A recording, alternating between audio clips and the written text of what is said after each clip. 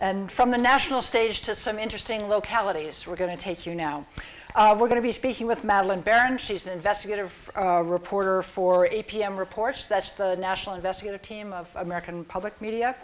Published an amazing uh, broadcast, podcast, uh, In the Dark, um, in 2013, 2014, which uh, really established the um, malefactor in uh, one of the most explosive and best known cases in the state of Minnesota.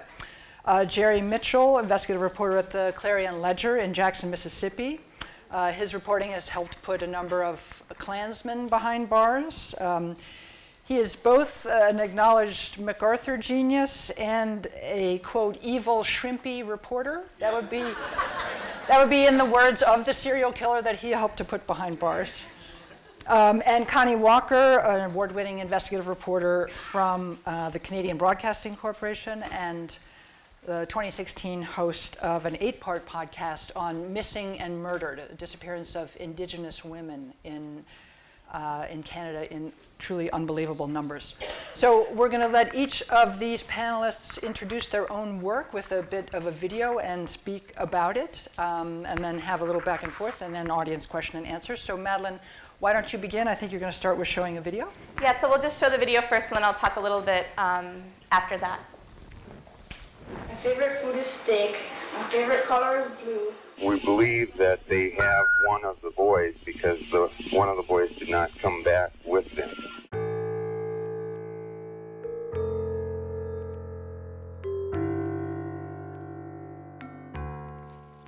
I wake up at night thinking about it. Law enforcement not only blew it back then, but they blew it in 2004 more than ever. There has to be an element in there to have accountability. And when accountability is not there, disastrous things happen. It was literally within a minute that they biked by our house that they were stopped up that hill. It was within a minute. I'm not going to concern myself with the things that weren't done by the investigators more than 25 years ago. Such a small fraction of sex offenders end up on a registry. And I can tell you that most of the suspects we've had in Jacob's case would never have been and never were on a registry. So there's a false sense of these are the bad guys. It's like we're regulating nuclear waste. We're not punishing the nuclear waste. We are making sure that it's kept away from us at a safe distance. How many of these types of psychopathic pedophiles can exist in this 15 to 20 mile radius? I mean, was it more than one? Was there something bigger going on? Over the next eight weeks, we're going to look at the Jacob Wetterling case in a way that it hasn't been looked at before. Not to solve it, but to try to find out why it hasn't been solved. We're going to look at what law enforcement did and also what they didn't do. And we're going to see how those decisions would come to damage the lives of so many people in ways that no one talks about. I haven't done what I set out to do. That's the part that hurts.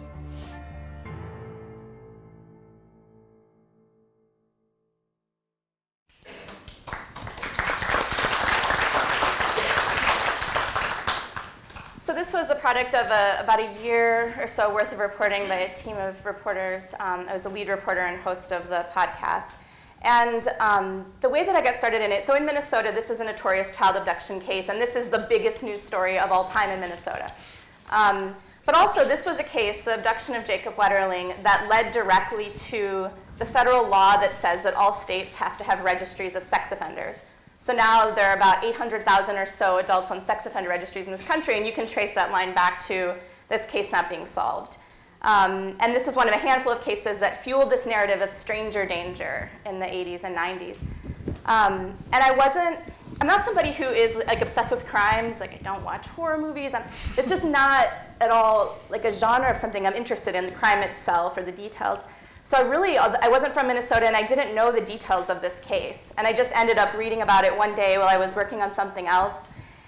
And like I say um, in the podcast, is this immediately was surprising to me because this was a case, um, it's one of the largest searches for any missing person in the history of the United States.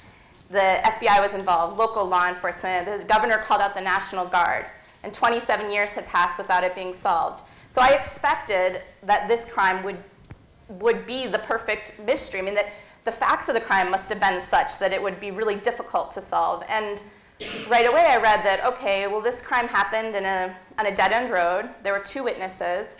Um, town of 3,000 people. The kids ran right away and called the police. The police got there right away. So what happened? So the, the question was very simple, is why hasn't this case been solved? Um, and I think what is different about the question that we were asking um, is we weren't trying to solve it. You know, there's a lot of reporting on crime that seeks to solve it, and what we thought was important here is to say, no, we know whose job it is to solve crime. They're called law enforcement. So are they solving it? And as investigative reporters, we need to ask the question of law enforcement sometimes and not just jump in and try to do this ourselves. Um, and so over year's worth of reporting, we found that um, the, the lead investigative agency in this case, um, the Stearns County Sheriff's Office, had botched the case, that they had failed to do some of the most basic police work. For example, they hadn't talked to all the neighbors who live near the abduction site. So at the same time that there was this massive coverage and there were thousands of people combing the fields and they were you know, going to other states to talk to psychics, they hadn't just gone up and down the street and talked to people um, with disastrous consequences. They had also, um, the sheriff had called an innocent man who, a person of interest in the case, and not just an innocent man, but the only adult witness of any value in this case who saw a car, who lived right next to the abduction site, drive around and leave. Um, and so this case had been, so we showed the case had been botched, but then what we wanted to show was it's not just about this one case. So we went and looked from 1970 to present day in the sheriff's office. How good of a job do they do solving crime? And that involved the work of not just myself, but a whole team of reporters, a data reporter who worked on this for months, who had to go get like paper documents of the clearance rates for this central Minnesota county, and what we found is that this sheriff's office has a very poor track record of solving crime. Like, for example, last year, um, or in 2015 rather, their clearance rate for violent crime was 12%. So that sounds bad. It is bad. But what's worse is that there are law enforcement agencies across this country that do an even worse job of solving crime. And no one hears about that. And so we expanded then toward the end of the podcast to tell this larger story. You know, how is it that in a nation that seems to be obsessed with crime, obsessed certainly with the crime rate, once those crimes happen, we don't seem that interested in whether or not law enforcement is solving them. And if we are interested at all in those cases, we tend to be interested in, you know, like we all know these shows, right? We are interested in like the, the devious criminal that could have done this or the perfect crime. And so we become obsessed with like the details of the crime. We become obsessed with the criminal. But we are not interested in law enforcement, like in the, the government agency that's supposed to be solving these cases. So what we did was take this one case, this like small town, big consequential case, very consequential to the people involved, but then also told this much larger story about something that we think um, is, a, is a big problem in the United States that isn't getting as much attention as it could be. I think it's a common thread, and you'll hear it now through all of these stories, that these are seemingly stories about crime, but they're really stories about criminal justice. You know, at the Marshall Project, we cover criminal justice, and we're very conscious of the difference between those two things. It's about law enforcement not doing its job. And you, you will talk a little later, I think you have some choice words to say about what a reporter is and what a police officer is and why you should not confuse those two. But Jerry, let's move to you for a minute. All do you right. want to show your video first Sure, or, yeah, show- or set show it the up? video. Whatever you want to do. Roll the clip. Roll the clip.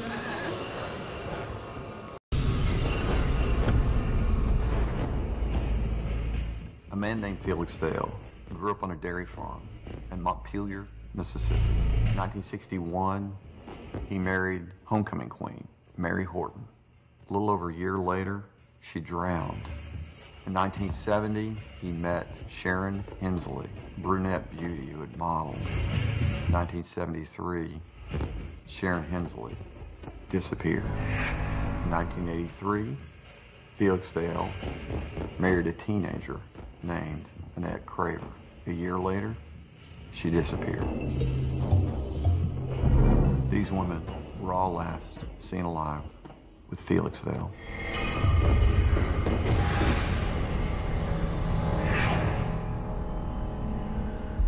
Woo wee! Wow. Yeah. I guess I don't have to say anything. That's it. Anyway. It's a lighthearted. That's a little lighthearted story. I think that. um, I, I got uh, I got a phone call one day. Um, uh, someone heard me on the radio talking about the Mississippi burning case, which was another case I worked on. And um, it was a mother. And the first thing she asked me was, "Would you be interested in writing about a serial killer living in Mississippi?" And my answer was, "Well, yeah." And so uh, she decided to come to Mississippi. She wanted to confront Felix Vail. Felix Vail had never been prosecuted, and this the first wife's death was in 1962 in uh, Lake Charles, Louisiana. And so, anyway, he, anyway, he had never been prosecuted. Nothing had ever happened to him on any of these cases. And so uh, she wanted to confront him about these three women. Annette, this is Annette's mother. And so she decided to come to Mississippi. I was like, to want to confront him. I'm like, I want to go with you, you know, because I mean, obviously it's a good story. And so I go with her. He lived in a real remote area of Mississippi. If you know where Starkville is, about a half hour north of there in Mississippi. So we, we drive out there, real remote area, nothing around. And, and so I'm with her, and the gate's locked, and she hops over the gate. and so I followed her and we walk down this trail and it's just all tall weeds and everything and finally we get this clearing and there are like two trailers one i could tell is like an old trailer or something it has like the plywood across the, the front and uh, but the other trailer's new. And so she goes to the new trailer silver trailer knocks on the door no answer. Well i'm just starting to try to look at the surroundings here you know? And you know see all the woods that are around us and all of a sudden the next thing i look up and she's heading for the old trailer. And so i go back go that way and next thing i know she's climbing in the back of the trailer and then she opens the front door so now i can see in. And she starts rummaging around. And all of a sudden she throws out a machete. And then another machete. And then another machete. And then all these swords. And I'm thinking, what have I gotten myself into here? so uh, that was spring of, of 2012. Uh, she had a whole stack of newspapers and other kind of documents she had, not only on her own daughter, but some of the other women as well. One of them was, that stood out to me immediately, was she had an autopsy of the, uh, for his first wife. So what I did with that during my process of beginning to look at this was shared that with Dr. Michael Baden. I kind of got to know Dr. Baden because he did the autopsy in the Medgar Evers case, and sent it to him, and he came back to me and said, "This is a homicide." I mean, she was she had a scarf in her mouth, um, bruise on the back of her head, bruises on her legs, um, and I guess the seven. So I ended up writing. a normally typical investigative reporter. I, I don't I, I like narrative, I don't do it very often. Um, but in this case, I felt like that was really the only way to tell the story. And it was also a way to not even have to say he's a serial killer. You know what I mean? I just tell the story.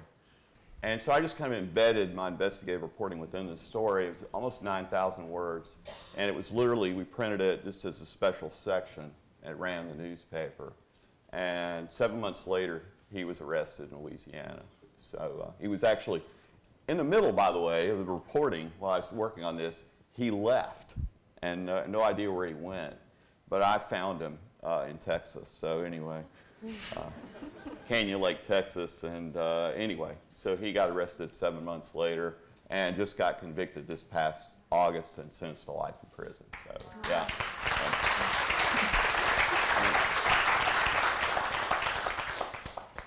Connie, you were on a murder trail of a different sort. Do you yeah. want to tell yeah, us about I, that? if we play the video first, that's a, a good introduction as well. That's Alberta Williams. The tip that sparked this story just showed up in my email one day. The subject said Alberta Williams murder. She was murdered by. Why did I hit send? Because it was the right thing to do. When you called me back, I almost didn't even know if I should answer the phone. Because it was like, oh my God, what have I done? It's been 27 years since Alberta vanished from downtown Prince Rupert in northern British Columbia. Alberta didn't just go missing. She knew the person, she trusted the person. Alberta's body was found three weeks later, hidden in the woods next to the Skeena River. If I didn't turn my head away, she would be here.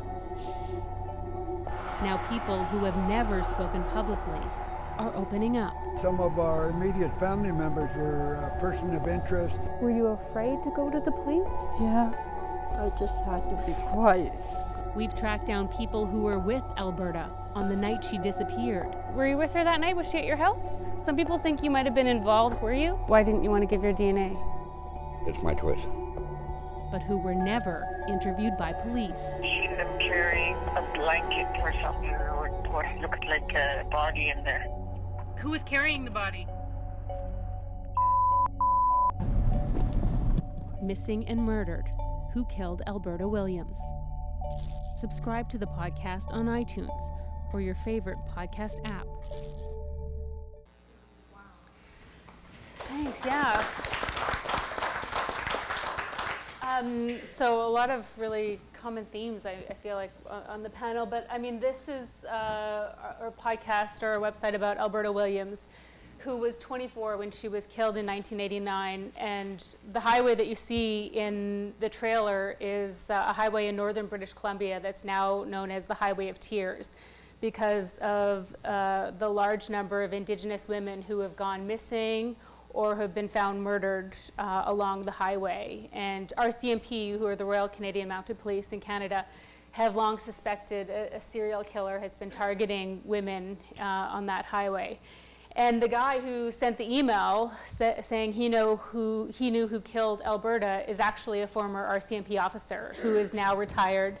And he was one of the lead investigators in Alberta's murder in 1989 and he had just has never forgotten her case because he felt like they always knew who was responsible, uh, but they just had never had the evidence to, to charge this person. So our podcast is very much a deep dive into this one case in particular and tracking down people who knew Alberta and were with her the night she disappeared and trying to find out some answers about her death. But I think really it's about the bigger picture of uh, Indigenous women in Canada and the disproportionate rates of violence that we face. And I say we because I'm also Indigenous, I'm Cree. I grew up on a reserve in Saskatchewan. And you know, this issue is really the reason that I became a journalist. Um, I was in high school during, um, in, in 1996 or 1995, when a, a, another Cree woman was killed in Saskatchewan, and uh, it was a very high-profile case because two white university students uh, in Regina were charged in her murder. And there was so much media coverage of the case, and a lot of it focused on them. Uh, about how they had bright futures ahead of them, about how you know they were really good boys, and uh, keep in mind she was a sex worker. You know, was actually an instruction that the judge gave to a jury when when considering her consent uh, to going with these with these two guys. And at the time, I remember feeling like there was no Indigenous voice being represented in this mainstream media. And so that was why I, I decided to, that I wrote my first article for the school, school paper um, and for a long time, no one was interested in missing and murdered Indigenous women. It's really only been in the last couple of years that this has started getting attention in Canada, even though it's been an issue that's been ongoing for decades. Um, the RCMP released a report uh, in 2012 saying um, uh, just about 1,200 Indigenous women across the country had been missing or murdered. They had a list of, of women. And advocates who have been doing this work for a long time, they believe that number is actually much, much higher. And so at CBC News, what we decided to do, uh, because the RCMP didn't release any of the names or details, many details about the women, um, certainly not any of the circumstances uh, about their lives, we compiled a database um, that was really the precursor to the podcast, where we now have over 300 cases uh, profiled on our database, and it's of Indigenous women whose cases are still unsolved. And what we tried to focus on was not just the violence or the circumstances of their death or disappearance, but really try to show the humanity and to show who they were and how they lived. And we interviewed their family about, and that was Alberta's sister that you saw in the trailer. And we wanted to try to illustrate, you know, that every single one of them has a family and a community that loves them and is still mourning their death and wants to find justice. And that sounds really basic and simple, right? But for a long time, um, you know, there's just been such an emphasis on, you know, vulnerabilities or high risk lifestyles or things that, that, that have dehumanized Indigenous women in mainstream media. So, so as an Indigenous woman, that has really been a priority of my reporting for the last few years, I've been focused on this issue, um, not just telling Alberta's story, but other stories as well as a part of the database. Um, but that was a huge part of our podcast, was trying to tell people who Alberta was and to show how much, even 27 years later, how much her death has impacted her family and her community. I think I read that if the murder rate for Indigenous women were generalized to the Canadian population, it would be 18,000 yeah, I mean, Indigenous women are.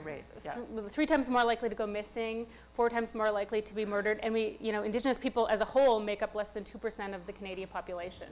So it's, you know, it's it's very and and part of the podcast is actually trying to show how this does not just exist in a silo, that this is connected to this legacy and this history um, of the relationship between Indigenous people and Canadians and, and the Canadian government, and kind of dive deep into painting a picture of how this reality came to be. Because it's been so underreported in Canada, and it's not something that's taught in schools. It's you know the the legacies that that people have uh, been dealing with are still largely unknown.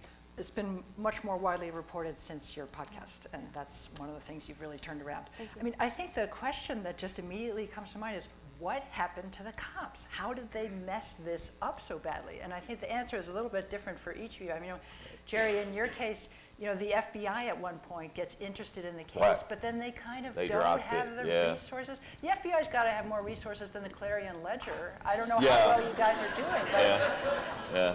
Well, what I found interestingly in my in my journey, I was, you know, I was kind of digging through looking for grand jury stuff, you know, uh, with regard to what happened with the grand jury back in '62 and, and why didn't they indict, and you know, it was pretty obvious, you know, from the photographs, et cetera.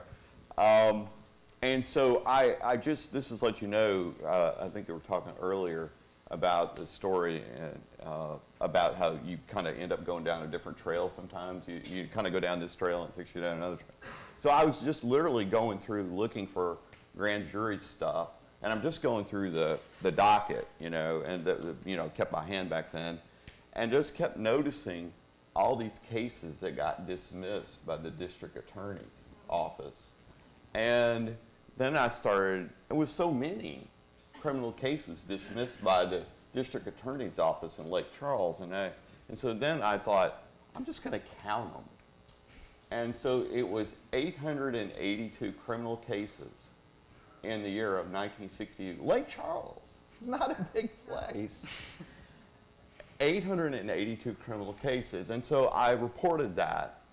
And then um, I also found out of there was a connection between Felix Vail, the, the serial killer, and, uh, and his family and the district attorney's office. Oh, That- wow. And so I actually literally went and visited Felix Vail's aunt was living in a nursing home. And I found this out. So I just went to go visit her in the nursing home. Came in in time for lunch. Uh, and just sat down and just started talking. And of course, I'd already talked to everybody in her family. Uh, I literally talked to everybody. And a lot, most of them talked to me, by the way. Uh, only Felix didn't talk to me. But uh, who accused me, by the way, of making all this up and got it all from uh, James Patterson novels. So anyway, uh, but uh, but I went in and talked to her, and, and I just asked her about the district attorney. And the district attorney's dad, where I found this was, I, I got a great researcher for the local library. I highly recommend it, especially if you're working on something cold case that pre anything pre-internet, I guess you could say. And he was so willing, he would go deep dive into all this stuff. Like he would pull up the city directory for me. He'd pull up old obituaries for me. Well, he, I, he sent me the obituary for the district attorney's father. Well, that's when I found out the district attorney's father worked for the same plant with Felix Vail's uncle, who was a supervisor at the plant. So I, I suspected a relationship there, and I went in and asked her, and oh yeah, we were such good friends with them. Right, right. so I had my story. There Um, you go. yeah. Madeleine, I, I, you said, you mentioned earlier that this was a, law enforcement was hiring psychics and not interviewing the neighbors. Right. Um, This is really a story of police work gone awry. Mm-hmm. Why, why were, I don't know, why were they so damn bad? What's your theory? What went wrong? Well, I think that what we found when we looked back, starting from 1970 through this crime happened in 1989 through the present day, was that this was a sheriff's office that had like almost a philosophical aversion to looking backward. Even though the sheriff himself is Mr. Looking Backward, I mean, he runs the jail, right? I mean, he's punishing people, but for himself and for his sheriff's office, he doesn't believe in it. You know, so he and, and both the sheriff and then many other law enforcement officials too would say this that there's no real point to looking backward. So I think that there was something that happened over time when every time you have a case that's not solved, instead, I mean, because we can all make mistakes in whatever our job is, but if every single time that happens, you say, I'm, I, like, you refuse to, to look at that and see what you could have done differently, lessons for next time, there's like a cumulative effect. But the other reality is that nobody looked at this. I mean, the share, so one of the things that we did was something that hadn't been done before, which was to figure out what has the clearance rate of this sheriff's office been over time, and was it is it going up? Is it going down? And so we, and that wasn't easy to find. And then when we found that and plotted it, and I brought it to the sheriff, the sheriff didn't know his clearance rate. And that was like one of the first questions I asked him, do you know your clearance rate? And he said, no, but I'm guessing that you do.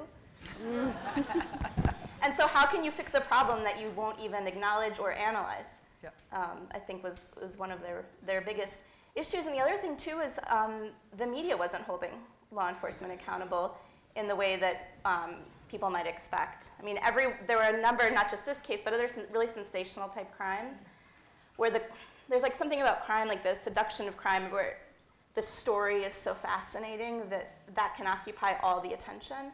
And so that was happening with crime after crime in this place. Every one was its own unique mystery.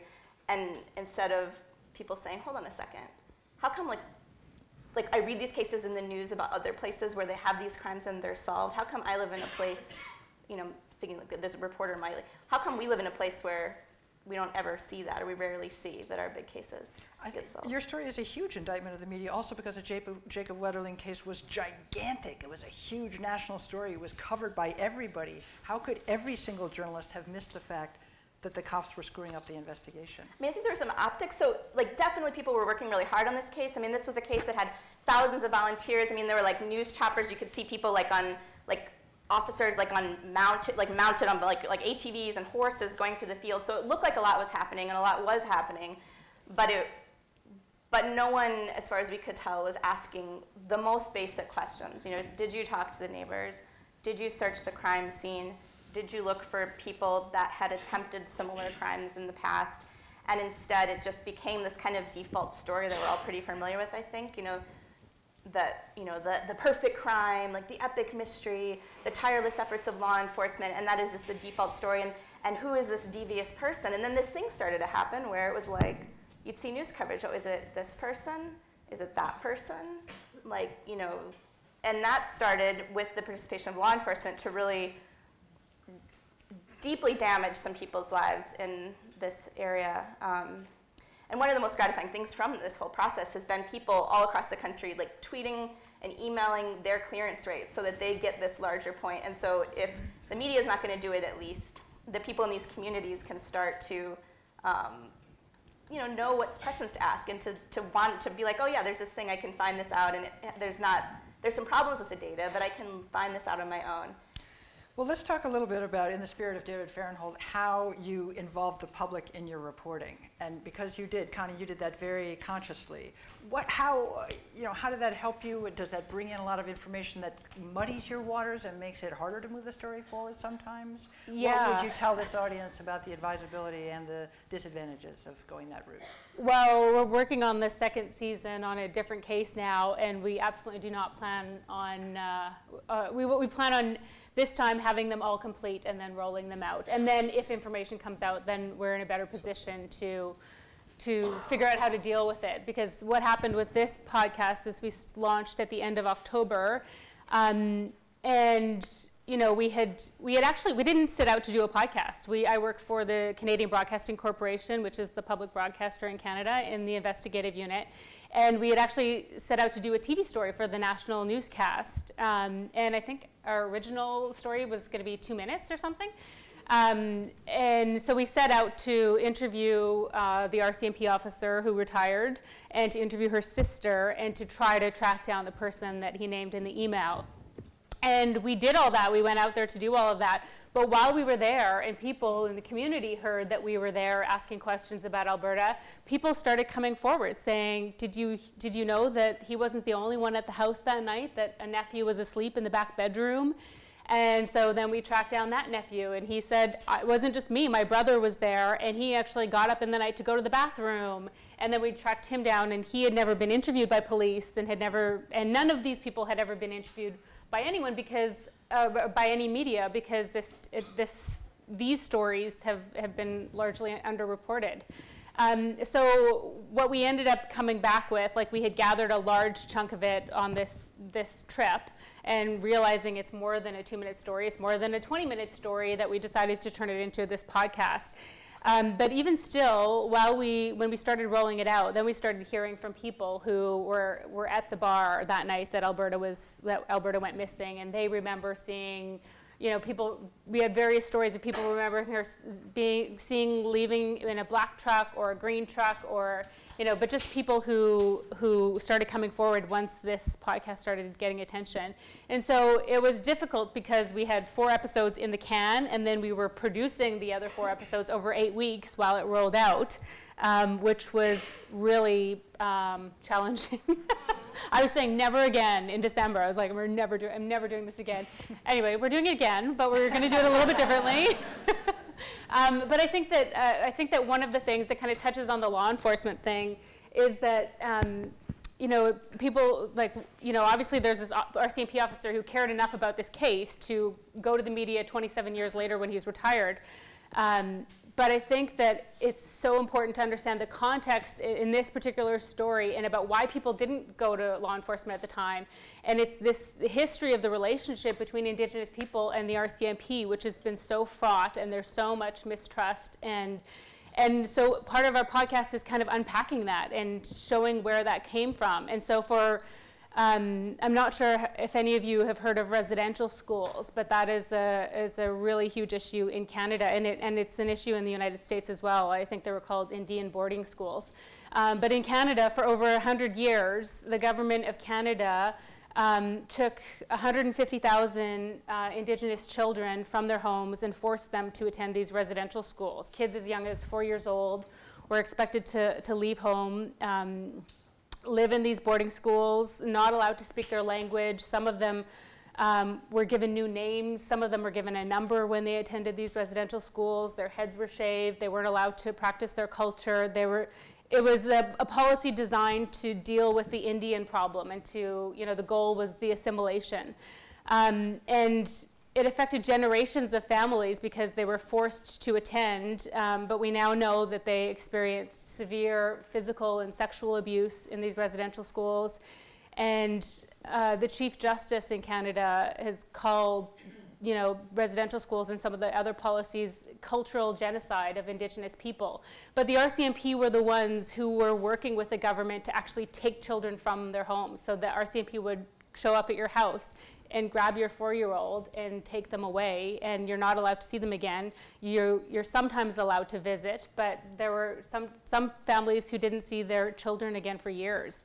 And, and so I think that it's important to understand that relationship that the RCMP had with Indigenous communities when you're asking why did they do such a bad job in Alberta's case or in the majority of the cases that we've been covering from Indigenous people or Indigenous women.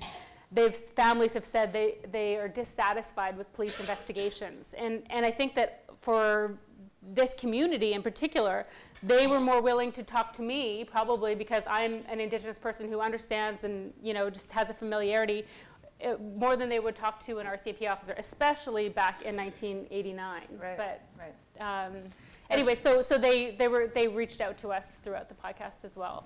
And Jerry, you actually put your email address on the website and said, email me if you know anything. So Yep. how many crazy people emailed you with ideas? Yeah, you, you, you're, you're going to get that. I think every reporter gets that, so I think it's unique to me. I, I, you just have to have some ability to sort, but the other thing you have to be willing to do is sometimes people who sound absolutely lunatic can give you some of the best tips. I, I, I don't- I don't know what it is. I don't know. They can be totally insane and send you a great tip sometimes. So, um, yeah, it's So wild. you or gotta give stay you give you documents or something. You know. Right, got to stay open. Yeah. Um, talk a little bit about um, whether you felt you could trust the memories of people. These are all old, old cases. Yeah. Did you actually find uh, people giving you a lot of inaccurate information, not on purpose, but just because human beings are who we are? I can hardly remember the names of my children. Yeah. We won't quiz you. um, Old, old. I think for go ahead. yeah, I think for us, I mean, that just spoke to this larger question of like, well, if you miss your opportunity, you know, to talk to the neighbors that night, you're just, I mean, the memory is going to get worse and worse and worse over time. So, I mean, from our perspective, we weren't quite in that situation because we weren't looking to solve it, you know. So, But you were still asking people about events that had transpired long, long ago.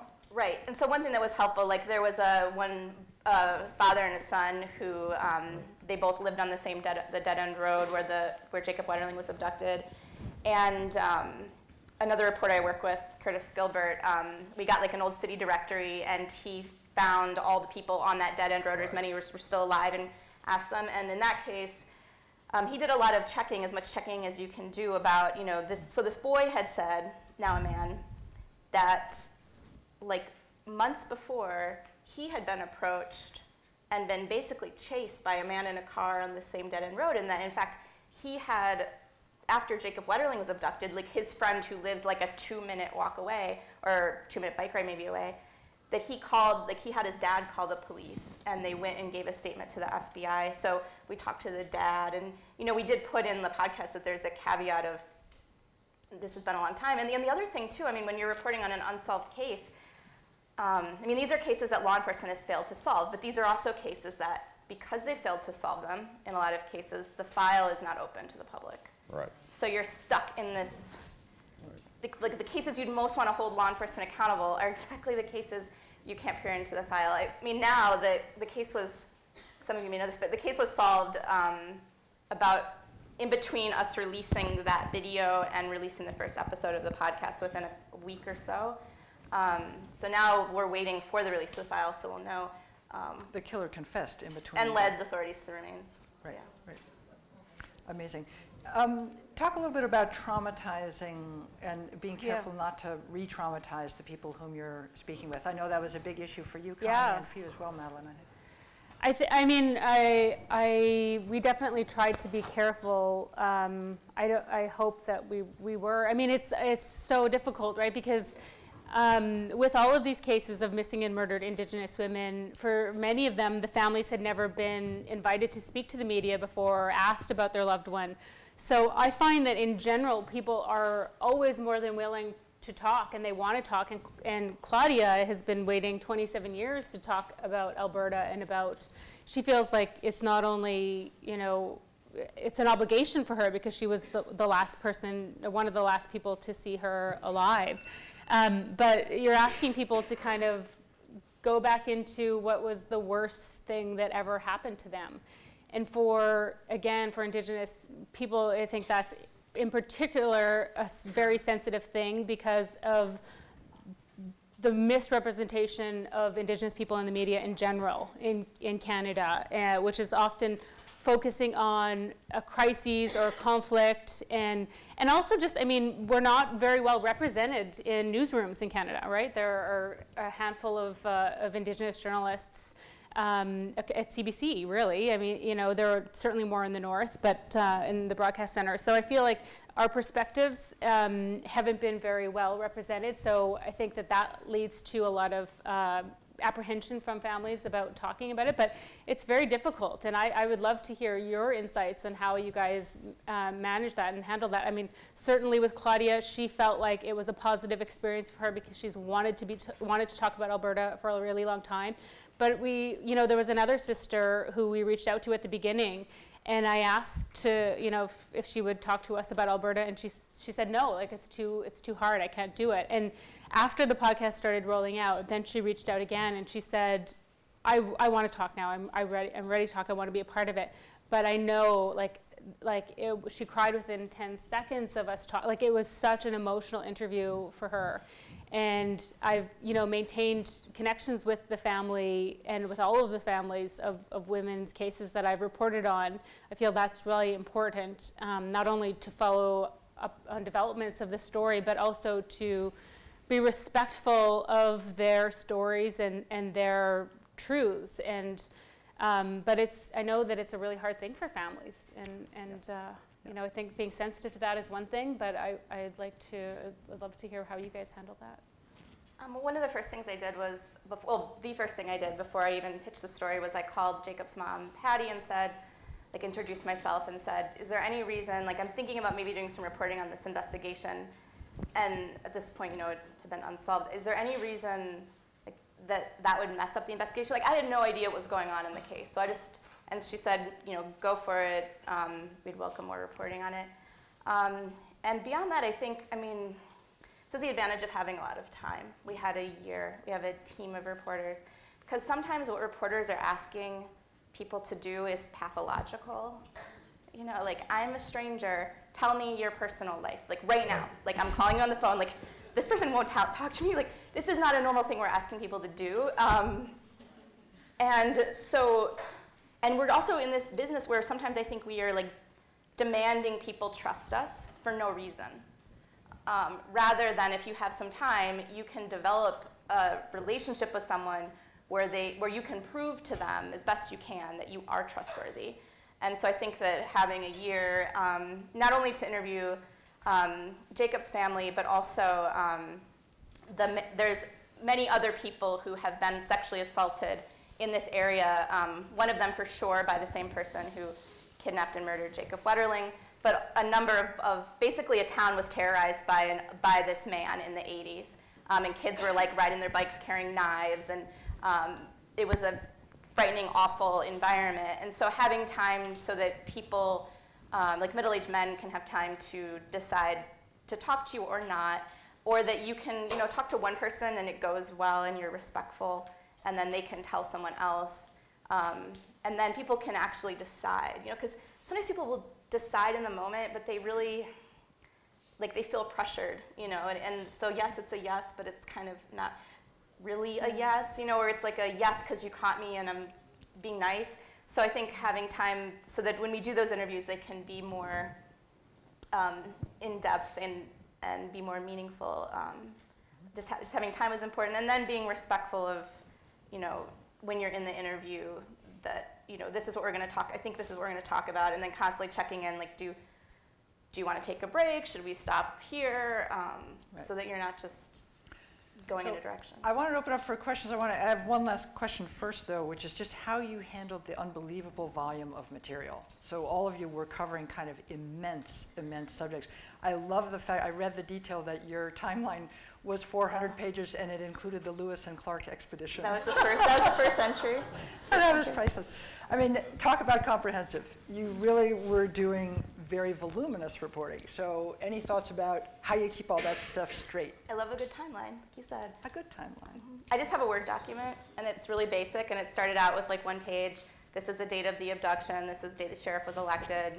Um, and then I just add to it and it's kind of obvious, but it's just such a it has helped me in so many projects because you don't know in an investigative project what is relevant when you start out. And, you know, to put things on a chronology and so that you know, even when you put them on, you didn't even know that they mattered, then they mattered a great deal. In our case, it was critical because to be well organized and to have this timeline because of the confession.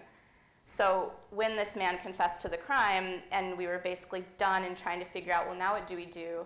Um, the fact that we basically just did a control F out of this like many hundreds pages timeline and created like a Danny Heinrich, the person who did it, timeline of like 40 pages from that, but then also saw the his stuff in relation to the other stuff. And you know, if we hadn't have been organized in that way, we probably would have to say, well, like we're going to take another year and get back to you, which would have been bad. That would have been bad. Yes.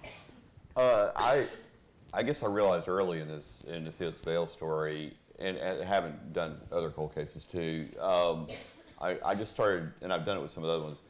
I just keep a journal, and so I dump, I start dumping things in it. Dump emails. I dump conversations. I mean everything. I, I, I write down. If I'm talking with someone, you know, uh, a member of the family, you know, it would not be anything I'd put in a regular story, but it might be something I'd come back and use in narrative, which is what I did. In the final narrative, actually, I became a character. I mean, not because I was trying to be a character, but I, I think the narrative demanded it. And so I had all that. Uh, I also had it. I had 2,400 pages of his journals.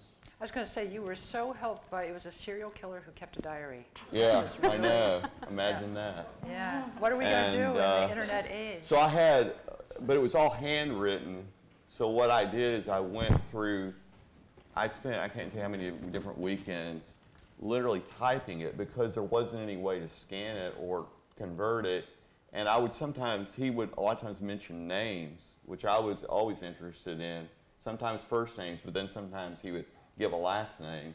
And so I was interested. So in order to keep track of all that, I literally took the journal, and I didn't do every single word, but the important parts of it, I converted into text so that it gave me time, places, dates, people, etc., those kind of things. I thought, Connie, one of the most powerful things on your website is just the incredible scroll through the hundreds and hundreds Yeah, of the women. You just can't believe it as you're going through it. And Yeah. that, that represented a lot of work, being sure enough about each of those murders and putting them together. Yeah, and we actually at CBC News we did a thing on Twitter where we um, posted uh, uh, one of the profiles and a picture of the women. Um, I think it was every six minutes for two days of all the women in our database. Like I mean, just so, and then people who are following, like you just you get the sense of just how large it is.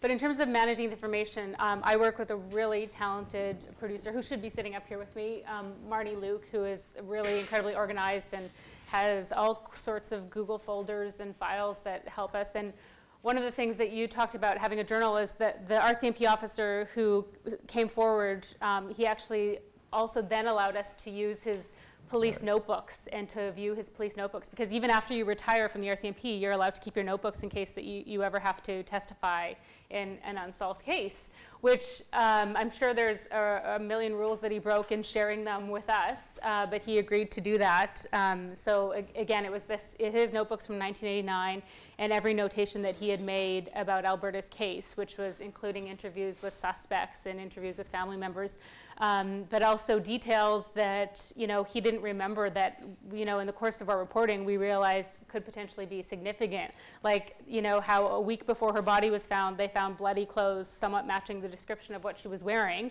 Um, but that they didn't necessarily make a connection that those could have been Alberta's clothes. And we were like, do they still exist? Are they still in an RCMP box somewhere? And and we don't. I mean, he's retired now, and so we don't necessarily have that information. But we did the same thing where we were, there was chicken scratch that we tried to decipher and and can and also write a write a timeline. Like you go out on these uh, in the field and, and you're talking to different people and you have all the tape. But I find it really helpful then to go back and remember um, the context. So this happened right before there, or something you know something that you know you're not going to use, but will help jog your memory later when you're trying to recall. Because uh, I think especially with podcasts and this kind of storytelling, a lot of it is your personal journey throughout. And for this podcast, it ended up being quite personal for me, and so a large part of it is my personal story. So it's helpful to manage it in that way. Can we take some questions from the audience? Janice, am I allowed to do that yet? Uh, When we think about who's missing status and who, which victims get coverage in the news. Mhm. It's not the Albertas. Right. Yep. No, I, I pitched my first MMIW story actually 10 years ago when I was working for the national broadcaster. When a girl that I knew from back home had gone missing, and it was the same summer that a, a white blonde woman went missing from Toronto area, and her name was Alicia Ross, and her disappearance was covered on our national newscast, uh, every national newscast that we have three in, in Canada um, and on the cover of the national newspapers. And I heard about Amber's disappearance, the girl that I knew from, from Saskatchewan, um, because of an email chain that her mom had started saying she's missing and can, can you guys help spread the word? Like there wasn't even a local story done. And so when I pitched the story to my producer at the time and I asked, you know, that I wanted to not just talk about Amber's disappearance, but just compare the two, like there were so many similarities between them. They were two young, beautiful women whose families were like desperate to find them and who had such bright futures ahead of them. And my producer at the time stopped me and she said, "This isn't another poor Indian story, is it?" And and that was it. And that and that was that was the end of it. And that was 10 years ago. So it wasn't actually that long ago. But now I have to say that I, for the last three years, I've basically been dedicated to telling the stories of missing and murdered Indigenous women. Uh, I'm a part of uh, a, an, an Indigenous, CBC Indigenous is a, a unit, a digital unit that's focused on telling stories from Indigenous communities in Canada it's not just CBC in Canada. There, every national broadcaster is now making these stories a priority. A national inquiry has been called into the disappearance of missing and murdered Indigenous women and girls. And so there's been this huge transformation in the last three years. And I think it's been the shift to digital and to digital um, storytelling that has really pushed that forward because, you know, we now have like numbers that show you, oh, people are interested in these stories, whereas before we were just making those decisions in rooms by ourselves. Now we actually have metrics that show, oh, this is widely shared, and we have access to a community that is not necessarily represented in our newsrooms through social media. So I think I think things are improving. And and to the point, the case you mentioned, uh, which was James Chaney, who is African American from Mississippi, and Mickey Schwerner and Andy Goodman, who are both white, uh, Jewish from New York, um, Rita Schwerner has said it herself, which was if they hadn't been white, if this had just been some black kids, right, killed, it wouldn't have been na- in you know national news. Every major newspaper uh, uh, reported completely around the world, uh, and they were missing for 40, 44 days. So yeah, it has everything to do with, with, with that, unfortunately. So. No question. Yeah, way in the back there. Hi. Um, I guess I'll Hey y'all, I'm Sierra Mannie and um, I'm with Reveal at the Center for Investigative Reporting and I'm also from Mississippi.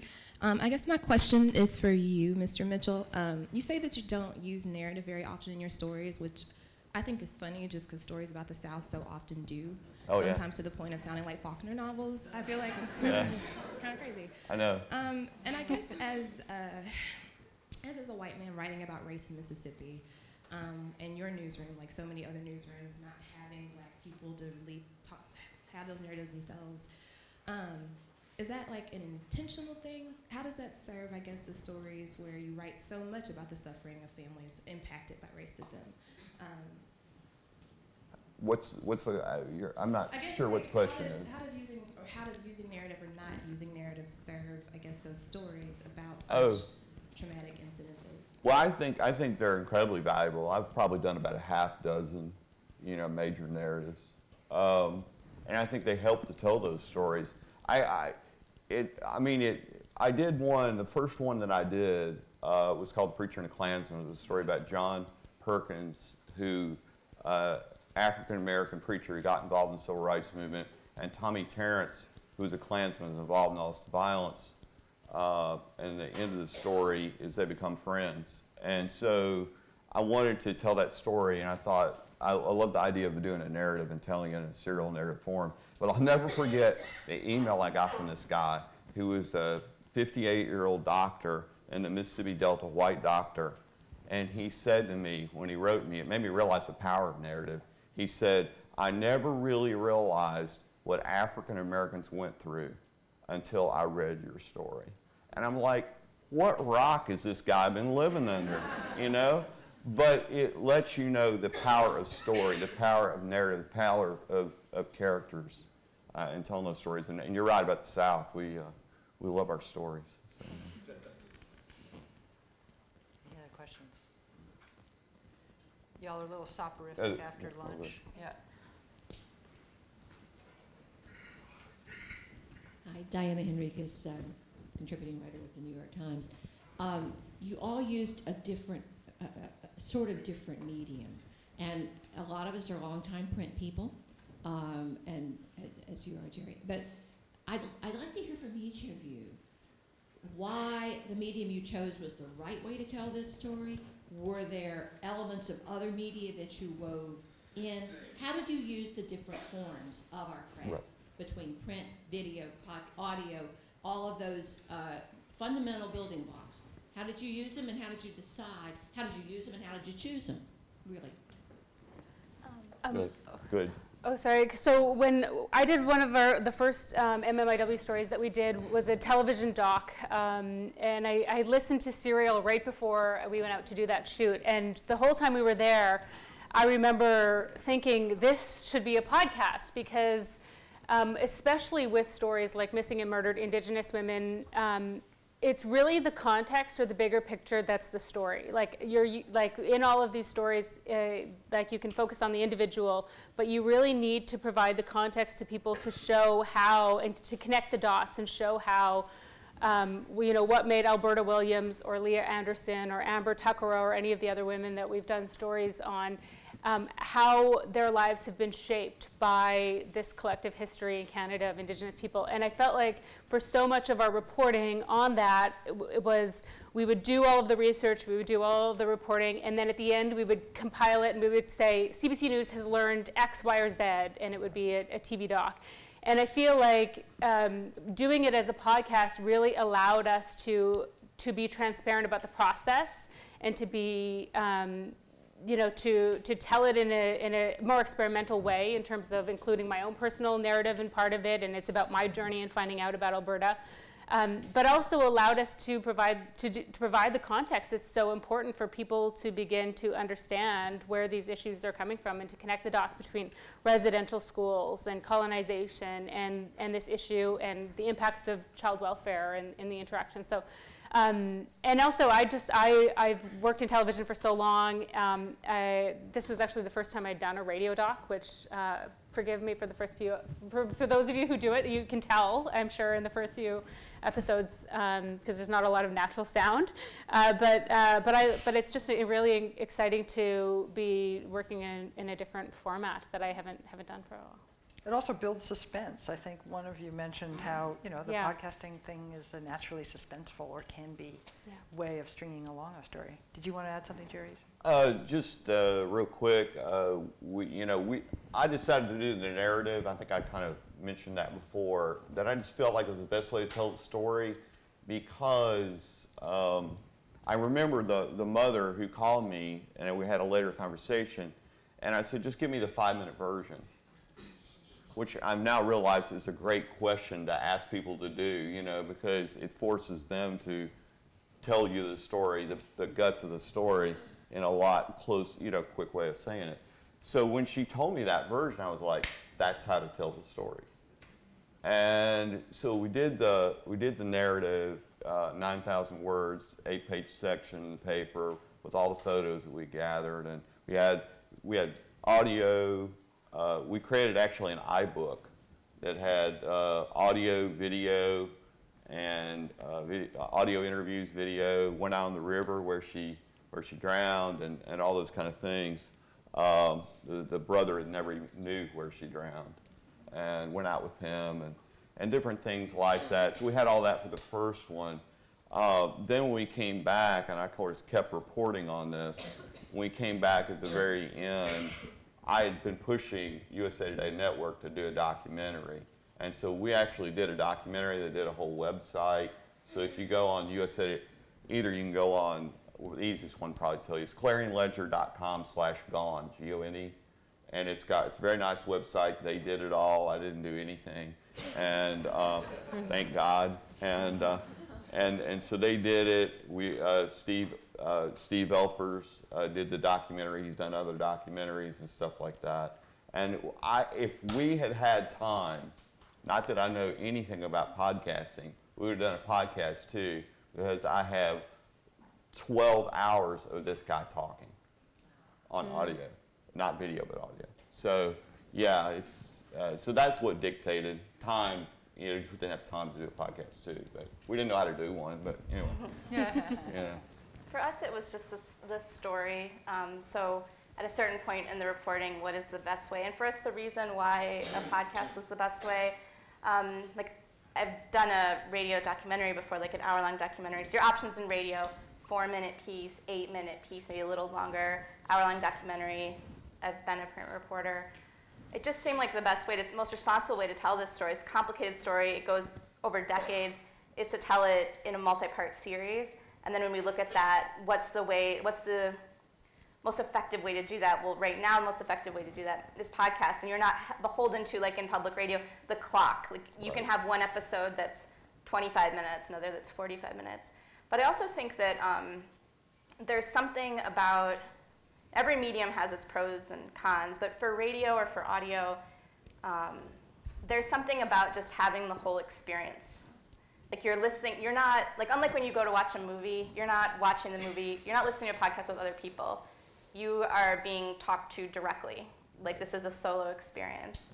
And there's something i think about the intimacy of that experience um, that can be very effective for making people care and can help a lot in building empathy. And this is the most this is the oldest way we tell stories to just tell you a story And there have been so much TV coverage of Jacob too, and so much visual uh, noise and cacophony around the Jacob Wetterling case. And there is something quieter about the podcast medium that is, has a greater, there's a lot of undignified coverage of Jacob, a lot of wrong coverage, a lot of bad coverage. I just want to say something that has nothing to do with any of the rest of what we're talking about. I just want to say it before we get out of here, which is I just feel honored to be with you guys on stage. I just, you guys are such incredible talents. And I have to say, too, to everybody here, and I know you're here for this reason, is that I believe investigative reporting is one of the most noble professions in this world. And I'm so honored to be with all of you. And I just want to let you know that before I leave, and David and others that are here that I know, Rosie. And uh, we're doing, doing great work, you know, and, and I love it, you know. Yeah.